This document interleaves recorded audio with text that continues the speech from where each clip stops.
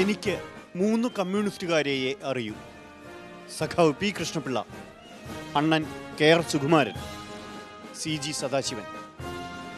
എല്ലാ കാര്യത്തിലും എന്നെ നയിച്ചത് സഖാവായിരുന്നു. പി കൃഷ്ണപിള്ള മരിക്കുമ്പോൾ ഗൗരിയമ്മ ചേർത്തല ലോക്കപ്പിൽ. ആത്മകഥയിൽ ആ ദിവസത്തെ ഓർത്തെടുക്കുന്നു ഗൗരിയമ്മ. പിന്നീട് വച്ചുനീട്ടിയ മന്ത്രിസ്ഥാനം സി ജി സദാശിവൻ അഭിമാനത്തോടെ കൈമാറിയപ്പോൾ കെ ആർ ഗൗരി മന്ത്രിയായി. ആയിരത്തി തൊള്ളായിരത്തി അമ്പത്തിയേഴിൽ അതിനു മുമ്പ് പൂജപ്പുര ജയിലിലെ തടവിൽ വച്ചാണ് ടി വി തോമസുമായി ഗൗരിയമ്മ അടുക്കുന്നത്. നാടുവാഴിത്തം കുടിയിറക്കിയ കർഷകരുടെ വക്കീലായി അതിനു മുമ്പേ ഗൗരി സമരസജ്ജ. തിരുക്കൊച്ചി സഭയിലേക്കുള്ള തോറ്റ തെരഞ്ഞെടുപ്പിൽ ഗൗരിയുടെ പ്രചാരണത്തിന് ടി വി തോമസ് എത്തി എങ്കിലും തുറുങ്കറക്കാലത്ത് കൈമാറിയ കത്തുകൾ പ്രണയമായി. മതിലിന് മുകളിലൂടെ കല്ലിൽ ചുരുട്ടിയെറിഞ്ഞ പ്രണയലേഖനങ്ങൾ. ചങ്ങമ്പുഴയുടെയും എ കെ ജിയുടെയും എം എൻ ഗോവിന്ദൻ നായരുടെയും പ്രണയാഭ്യർത്ഥനകൾ നിരസിച്ച തന്നെ പിന്നാലെ നടന്ന് ടി വി വീഴ്ത്തി എന്ന് വിപ്ലവ നായിക പിന്നീട് എഴുതി. ഒന്നാം ഇ എം എസ് മന്ത്രിസഭ. സാനഡുവിൽ റവന്യൂ മന്ത്രി കെ ആർ ഗൗരി. റോസിൽ തൊഴിൽ മന്ത്രി ടി വി തോമസ്. മന്ത്രിമന്ദിരങ്ങൾ തമ്മിൽ മതിലിനെ മുറിച്ചൊരു വാതിൽ. പ്രണയാനന്തരം താൻ വേണ്ടെന്ന് പറഞ്ഞ വിവാഹം നിർബന്ധിച്ച് നടത്തിയത് പാർട്ടിയെന്ന് ഗൗരിയമ്മ പിന്നീട് പറഞ്ഞു. ആയിരത്തി തൊള്ളായിരത്തി അറുപത്തിനാലിൽ അവിഭക്ത കമ്മ്യൂണിസ്റ്റ് പാർട്ടി പിളർന്നു. ആലപ്പുഴയിൽ നിന്ന് ഗൗരിയമ്മയും ടി വി തോമസും ഒരേ തീവണ്ടിയിൽ തിരുവനന്തപുരത്തേക്ക്.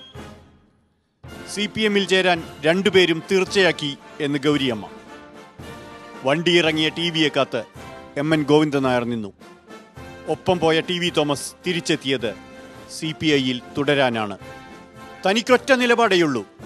ഗൗരിയമ്മ പൊട്ടിത്തെറിച്ചു അതിനിടെ ആലപ്പുഴക്കാരിയായ സ്ത്രീയുമൊത്ത് എം എൽ എ ക്വാർട്ടേഴ്സിൽ ടി വി വന്നു. അകൽച്ച പൂർത്തിയാവുകയായി. പിന്നീട് ക്യാൻസർ ബാധിതനായ ടി വിയുടെ രോഗശയ്യക്കരികിലേക്ക് ഗൗരിയമ്മ എത്തി. പാർട്ടിയോട് പ്രത്യേകം ചോദിച്ചു വാങ്ങിയ അനുമതിയോടെ. അന്നേരം ടി വി തോമസ് പൊട്ടിക്കരഞ്ഞു. വിഷാദമൂകയായി ഗൗരിയമ്മ. പിന്നെ ഗൗരിയമ്മ തോമസിനെ കണ്ടത് മരണശേഷം. ശാഠ്യങ്ങൾ തെല്ലു കുറയ്ക്കാമായിരുന്നു. രണ്ടാണ്ട് മുമ്പ് നൂറോണമുണ്ട നിറവിൽ അവർ പറഞ്ഞു മാതൃഭൂമി ഓണപ്പതിപ്പിൽ. ടി വിയുടെ ചിത്രങ്ങളാൽ അലങ്കരിച്ച വീട്ടുമുറിയിലിരുന്ന്. അതെ ആലപ്പുഴയ്ക്കും കേരളത്തിന് തന്നെയും നഷ്ടമായ രണ്ട് മുഖ്യമന്ത്രിമാർ. ഏകാന്തമായ സങ്കടങ്ങൾ ഇരുവരെയും വേട്ടയാടി. അപ്പോഴും ഒരു തമ്പുരാന് മുന്നിലും അവർ തിരുമുൽക്കാഴ്ച വച്ചില്ല. ആകാശം മുട്ടുന്ന അഭിമാനം മണ്ണിൽ കാലുറപ്പിച്ച് അവർ നിന്നു. മാപ്പിരക്കാതെ അവർ വിളിച്ച മുദ്രാവാക്യങ്ങളാണ് നാം ജീവിക്കുന്ന കേരളത്തെ രൂപപ്പെടുത്തിയത്.